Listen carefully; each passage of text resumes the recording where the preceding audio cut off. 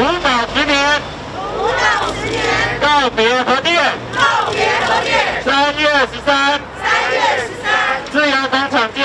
自由广场见。由多个公民团体组成的全国废核行动平台，十九日在凯达格兰大道举行记者会，呼吁民众勿忘地震核灾，并预告三月十三日将举办音乐会市集，迎战永和人士提出的公投案。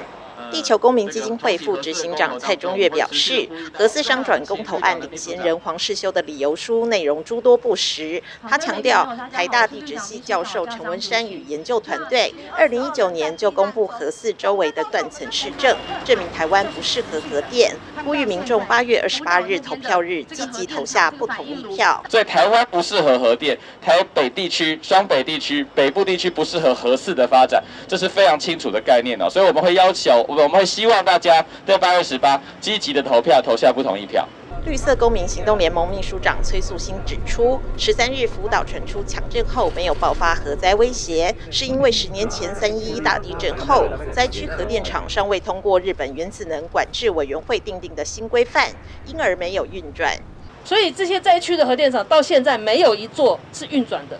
所以在这次地震之后，很快就传来说啊核电厂安全无事的消息。我想这些让大家讲说，什么样才叫安全？